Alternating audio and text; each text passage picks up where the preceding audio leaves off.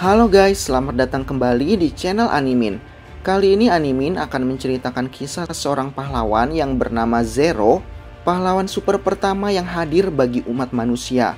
Di bawah pengawasannya, banyak pahlawan super lainnya yang muncul dan mengikuti jejaknya, menolong banyak orang dan membuat dunia menjadi tempat yang layak untuk dihuni.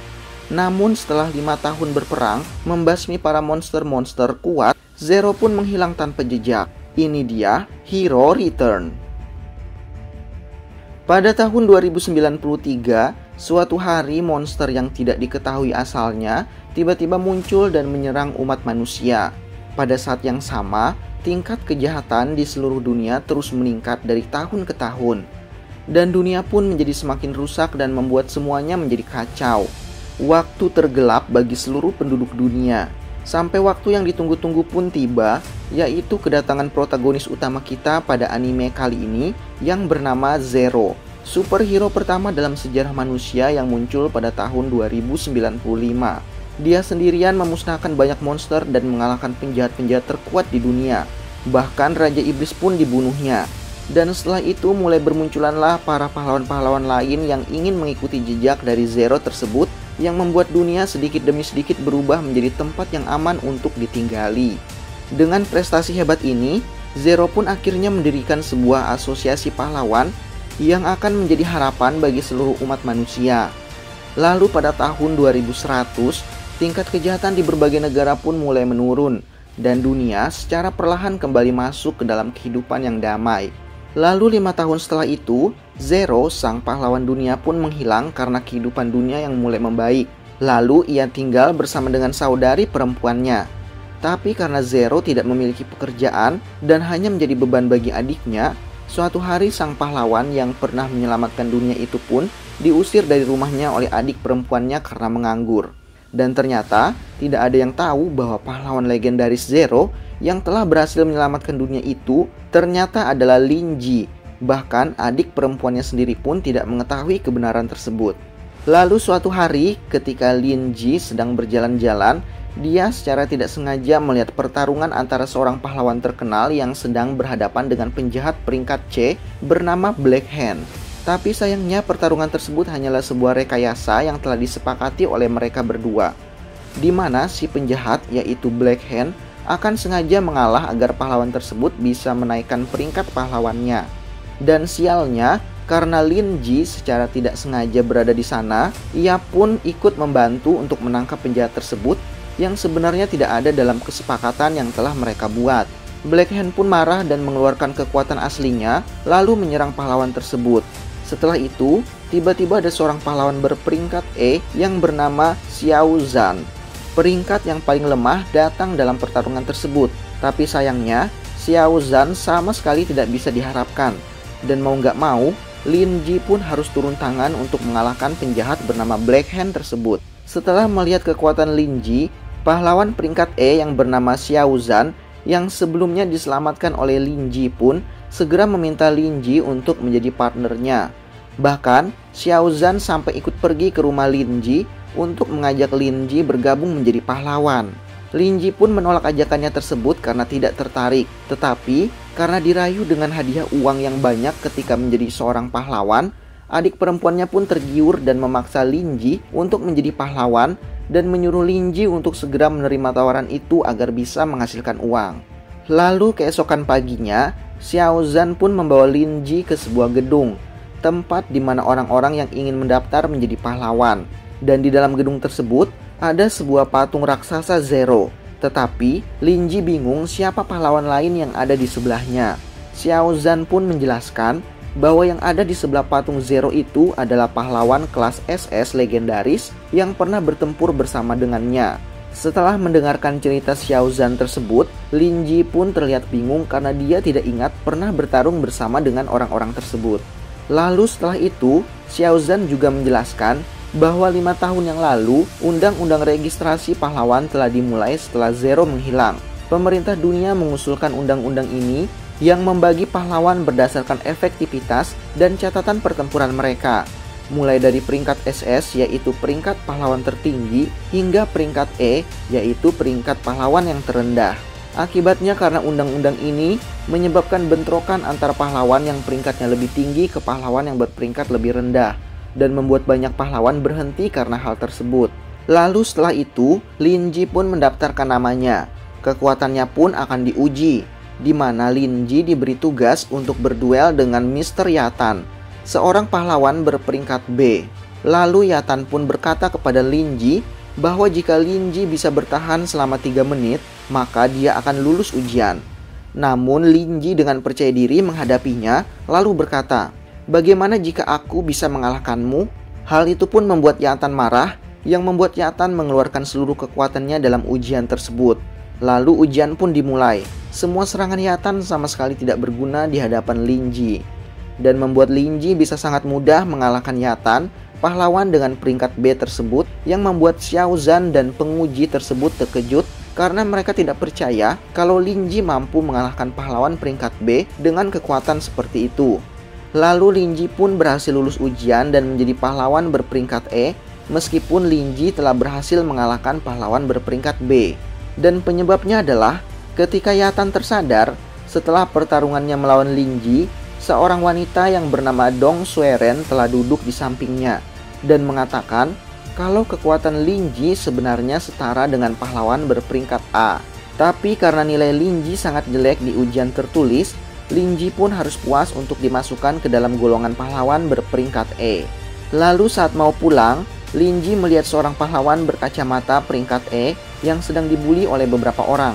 Tapi sebelum Linji ingin menolongnya, Tiba-tiba seorang pahlawan peringkat E lainnya muncul dan mengusir orang-orang tersebut yang lari ketakutan hanya karena melihat wajahnya saja. Dan berkat kejadian itu, Linji pun mendapat teman baru karena mereka berdua ternyata memiliki ketertarikan yang sama pada seorang gadis penyihir.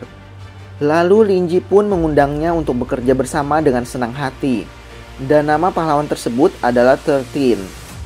Lalu ketika Linji bertanya tentang kemampuannya, Tertin mengatakan kalau dia adalah seorang yang selalu membawa sial yang membuat orang-orang di sekitarnya mengalami kesialan. Mendengar hal tersebut, Linji pun terlihat bingung dengan penjelasan itu. Dan tiba-tiba, tanpa sengaja, Tertin pun menghancurkan gedung pahlawan tersebut yang membawa semua orang di dekatnya tertimpa kesialan. Dan itulah alasan mengapa orang-orang sebelumnya yang melihat Tertin langsung kabur karena tidak mau mengalami kesialan. Dan karena kemampuannya tersebut, banyak penjahat dan pahlawan takut padanya. Karena itu, Thirteen tidak memiliki teman untuk diajak bekerja sama. Lalu Linji mengajaknya bersama dan mereka pun membentuk tim pahlawan bersama-sama yang beranggotakan empat pahlawan-pahlawan berperingkat E. Hari demi hari pun berlalu, hingga satu hari mereka pun mendapatkan misi pertama mereka. Mereka menemukan bahwa sebuah kelompok teroris sedang melakukan perdagangan senjata biologis. Dan saat mereka mau menangkap para teroris tersebut, tiba-tiba muncul seekor monster besar yang menyerang mereka. Lalu Linji pun segera memukul monster tersebut dengan sangat mudah. Tapi sayangnya pukulan Linji tersebut membuat monster itu malah terbang ke tengah kota. Linji dan Xiao Zhang pun berusaha untuk menghadapi monster tersebut di tengah kota. Lalu setelah berhasil mengalahkan monster tersebut, ternyata monster yang mengerikan itu sebenarnya adalah gadis kecil yang sangat lucu. Lalu keesokan paginya, berkat informasi yang diberikan oleh Dong Sueren, mereka pun mengetahui kalau beberapa tahun yang lalu, perusahaan gen evolusi telah menggunakan anak yatim piatu sebagai subjek penelitian mereka. Dan gadis yang berhasil mereka selamatkan itu adalah satu-satunya anak yang berhasil dan selamat dari eksperimen tersebut. Mendengar hal itu, Linji pun marah dan bertanya, "Jadi, apa yang dilakukan para pahlawan selama ini?" Dong Sueren berkata bahwa ia telah mencoba segala cara untuk menghentikan mereka, tetapi sia-sia karena orang di balik semuanya itu adalah presiden asosiasi pahlawan sendiri. Setelah itu, Dong Sueren pun memberitahu Linji dan kelompoknya kalau ada kemungkinan akan ada penjahat lainnya yang datang untuk menjemput anak tersebut. Oleh karena itu, Linji pun membawa anak tersebut ke rumahnya. Awalnya, adik perempuannya mengira kalau kakaknya telah menculik seorang gadis kecil ke rumah mereka. Tapi untungnya setelah dijelaskan, adiknya pun menjadi akrab dengan anak kecil tersebut.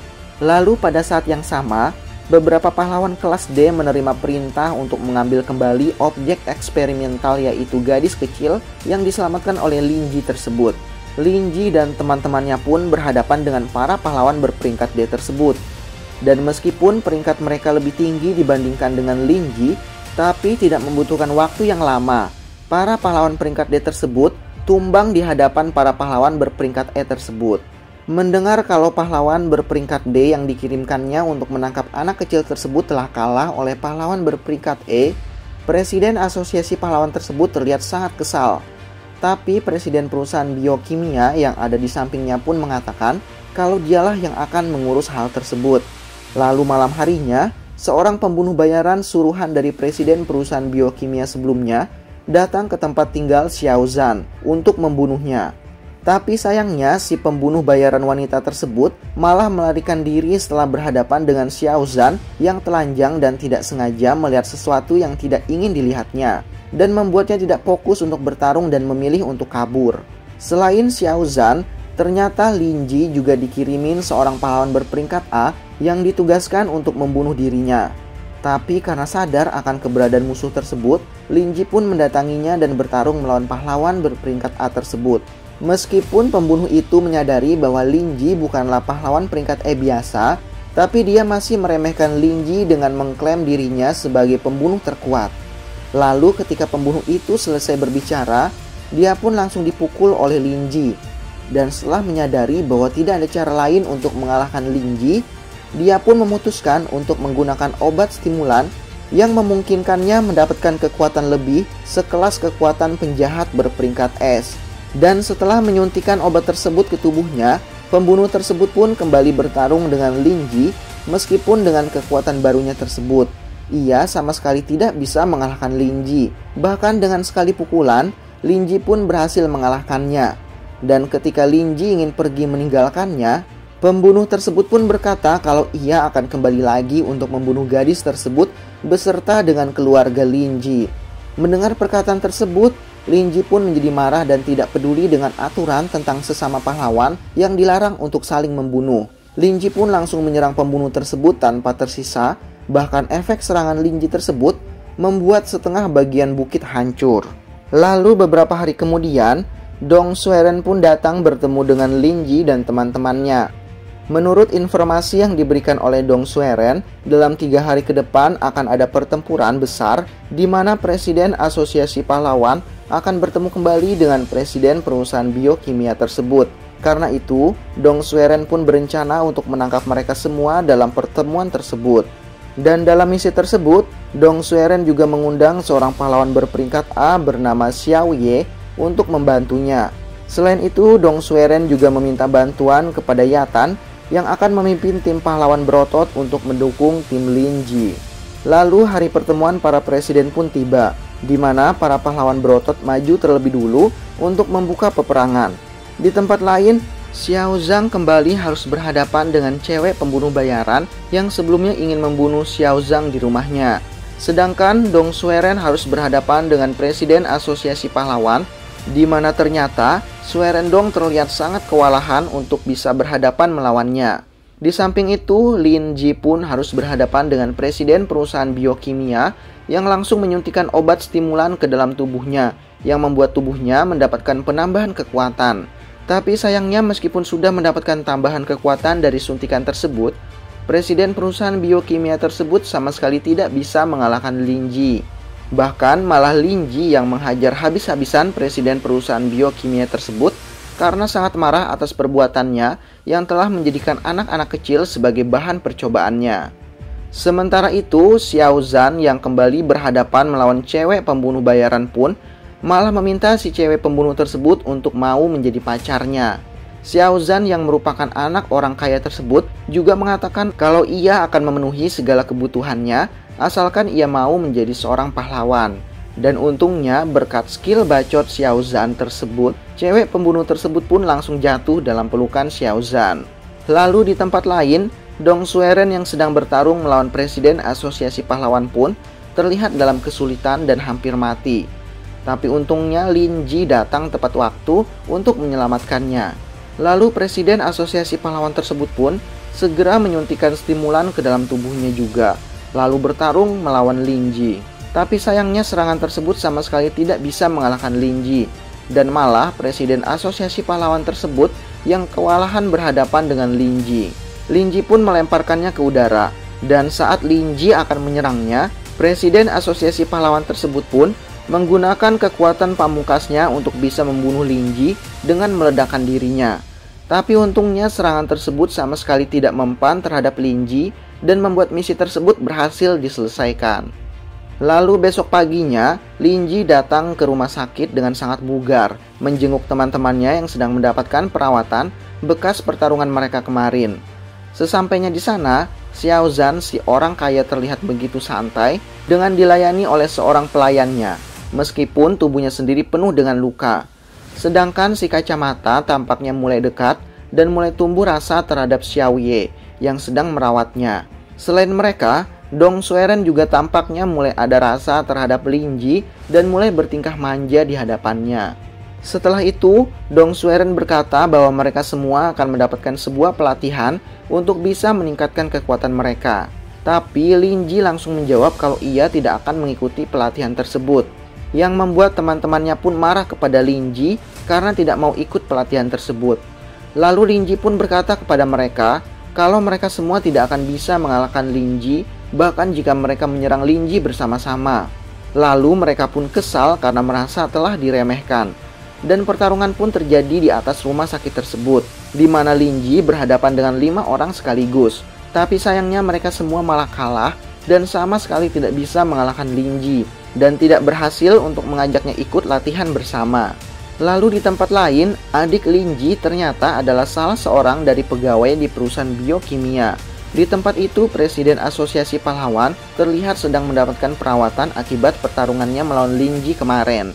Tapi sayangnya karena telah gagal, profesor yang ada dalam laboratorium perusahaan biokimia tersebut membunuhnya lalu membawa seseorang untuk menggantikan Presiden Asosiasi Pahlawan yang bernama Dong Yang, yang merupakan kakak dari Dong Sueren. Lalu setelah itu, semua pahlawan pun dipanggil untuk berkumpul di kantor Asosiasi Pahlawan untuk menyambut presiden baru dari Asosiasi Pahlawan.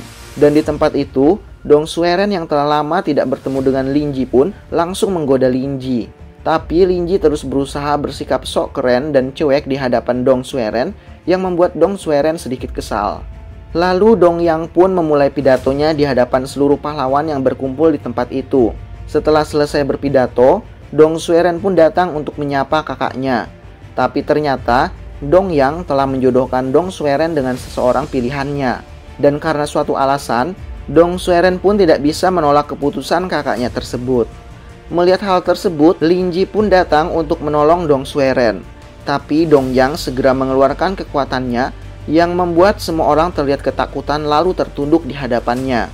Berbeda dengan Linji, di saat semua orang tidak tahan menghadapi kekuatan tekanan yang dikeluarkan oleh Dong Yang, Linji tetap berdiri teguh di hadapannya. Bahkan, Linji malah mengeluarkan aura yang lebih kuat dari yang dikeluarkan oleh Dong Yang dan membuat Dong Yang, presiden asosiasi pahlawan yang baru tersebut, terlempar dan sampai muntah darah. Dan setelah itu, Linji dan teman-temannya pun pergi meninggalkan tempat itu. Tapi karena khawatir dengan Dong Sueren, Linji pun meminta Tertin untuk mengawasi Dong Sueren. Lalu di tempat lain, adik Linji sedang bekerja di laboratorium perusahaan biokimia, di mana ia telah mampu membuat hewan memiliki kepintaran layaknya seorang manusia. Di malam harinya, di tempat kediaman Dong Sueren, tiba-tiba datang seorang pria dengan membawa pasukan robot untuk mendampinginya. Dan ternyata pria itu adalah pria yang telah dijodohkan kakaknya sebelumnya dengan Dong Sueren. Tapi karena Dong Sueren tidak menyukainya, ia pun berusaha mengabaikannya karena pria tersebut juga berasal dari keluarga penjahat. Tapi karena tidak terima, pria tersebut pun memaksa Dong Sueren dan berniat untuk membawanya pergi. Mendengar keributan yang terjadi, pasukan dari Liga Otot pun keluar untuk membantu Dong Sueren. Tapi sayangnya mereka semua sama sekali tidak bisa berbuat apa-apa karena dihadang oleh robot-robot yang mengawal pria tersebut. Lalu sebelum membawa Dong Sueren pergi, tiba-tiba pria tersebut menembak ke arah pohon di mana ternyata pria tersebut telah menyadari kalau ada seseorang yang sedang mengawasi mereka dan membuat Tertin terluka. Setelah itu, pria tersebut pun berhasil pergi membawa Dong Sueren bersamanya. Sedangkan Tertin yang sudah terluka hampir terbunuh oleh robot pengawal pria tersebut. Tapi untungnya, Linji datang menyelamatkan Tertin. Linji pun bertarung melawan robot-robot penjaga tersebut. Sayangnya, robot-robot tersebut tidak bisa dihancurkan dengan mudah oleh Linji karena mampu beregenerasi. Lalu Linji pun mengeluarkan senjata legendarisnya yaitu pedang roh api untuk menghancurkan robot-robot tersebut. Dan setelah mendengar kalau Dong Sueren telah diculik, Linji pun sangat marah dan ingin segera menghabisi mereka semua. Untungnya teman-temannya berusaha menenangkan Linji untuk mengatur strategi terlebih dahulu sebelum menyerang. Dan untungnya berkat bantuan pelayan dari Xiaozan dan anjing pintar buatan adiknya Linji, mereka pun berhasil meretas keamanan rumah tempat di mana Dong Sueren diculik dan berniat untuk membatalkan pernikahan Dong Sueren besok pagi. Lalu besok harinya, Linji dan teman-temannya pun berhasil masuk dan melumpuhkan sistem pengawas tempat pernikahan Dong Sueren.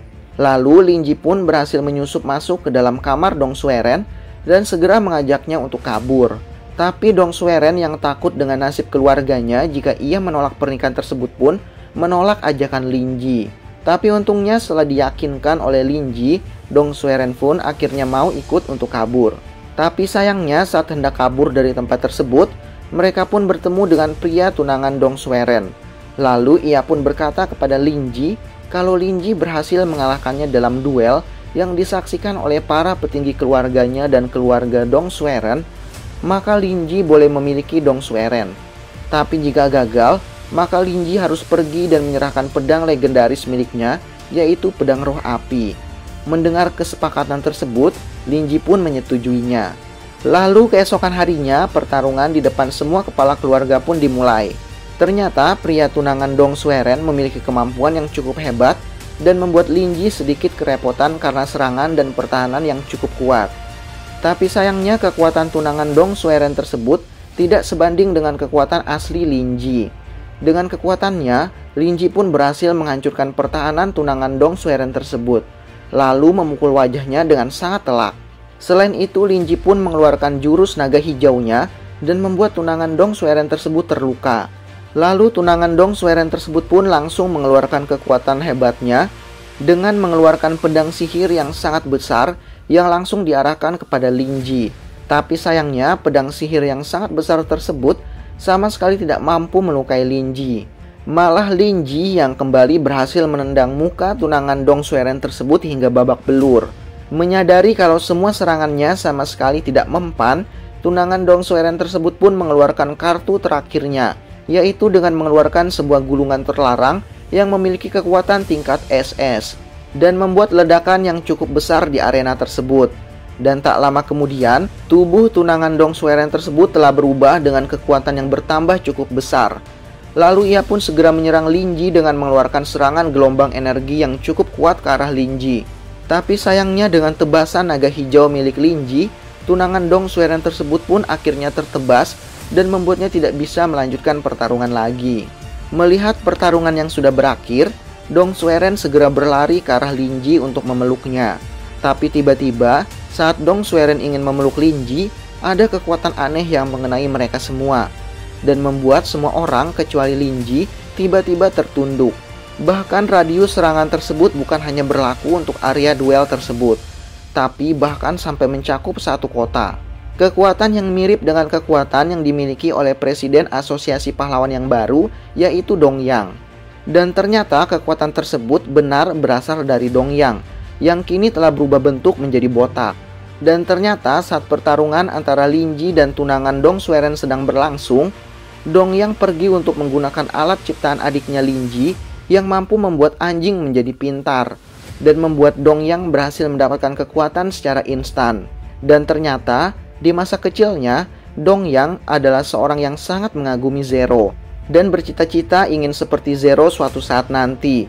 Tanpa ia sadari kalau orang yang sedang ia hadapi sekarang ini adalah pahlawan idolanya waktu kecil dulu. Lalu Dong Yang pun segera menyerang Linji dengan mengeluarkan jurusnya yaitu gelombang harimau putih. Tapi sayangnya hanya dengan auranya saja, Linji berhasil mematahkan serangan Dong Yang tersebut, bahkan membuat Dong Yang terluka. Dongyang yang marah pun segera menyerang Linji dengan berbagai macam serangan, yang akhirnya membuatnya berhasil mendaratkan serangannya pada Linji. Setelah itu, Dongyang pun segera menggunakan jurus pengikisan roh dewanya dan masuk ke dalam alam bawah sadar Linji. Di sana, Dong Yang sangat kaget karena melihat banyak penampakan monster-monster kuat. Selain itu, Dong Yang juga melihat Linji yang sedang menangis sambil memeluk seorang gadis. Dan setelah itu, tiba-tiba tubuh Linji mengeluarkan kekuatan yang sangat besar, di mana sepertinya kekuatan sang pahlawan Zero akan kembali aktif. Melihat hal tersebut, Dong Yang pun menyadari kalau Linji ternyata adalah Zero, sang pahlawan yang sangat ia kagumi. Tapi karena tidak terima dengan hal itu, Dong Yang pun menjadi sangat marah dan berkata bahwa dia adalah Zero yang palsu sambil mengeluarkan serangannya. Tapi dengan kekuatan pedang Excalibur yang dikeluarkan oleh Linji, Linji pun berhasil menebas Dong Yang. Dan untuk bisa mengimbangi kekuatan Linji tersebut, Dong Yang pun mengeluarkan jurusnya yang lain untuk bisa bertarung melawan Linji. Tapi sayangnya meskipun Dong Yang telah mengeluarkan kekuatan yang paling besar, dengan kekuatan Linji yaitu serangan gelombang penghakimannya yang begitu dahsyat, Linji berhasil menyerang Dong Yang, yang mana kekuatan gelombang Linji tersebut sangat kuat dan besar, bahkan sampai menembus luar angkasa, dan membuat Dong Yang tidak bisa melanjutkan pertarungannya. Lalu Linji pun kembali ke wujud manusianya, dan saat Dong Yang akan mati, Dong Yang pun bertanya kepada Linji bagaimana bisa Linji mendapatkan kekuatan yang sebesar itu. Mendengar pertanyaan Dong yang tersebut, Linji pun lalu melepas bajunya dan menunjukkan tubuhnya yang dipenuhi oleh luka-luka yang telah ia dapatkan ketika berhadapan dengan para monster dan dewa-dewa dari dunia lain yang akhirnya membuat Linji memiliki kekuatan yang sangat besar tersebut. Mendengar jawaban tersebut, Dong Yang pun akhirnya bisa tersenyum dan pergi menghilang dengan sangat puas. Setelah itu, dunia pun kembali menjadi dunia yang damai, tapi sayangnya, kisah percintaan Linji dan Dong Sueren tidak berjalan dengan lancar. Karena Dong Sueren yang harus pergi ke luar negeri karena mendapatkan pekerjaan di sana. Tapi sebelum Dong Sueren pergi ke luar negeri, Linji dan Dong Sueren pun sempat bertemu dan berciuman. Lalu Linji pun berkata bahwa ia berjanji akan menunggu sampai Dong Sueren kembali. Cerita yang cukup menarik. Itu saja untuk video kali ini. Terima kasih untuk kalian yang sudah menonton sampai menit ini. Nantikan video-video berikutnya dari Animin.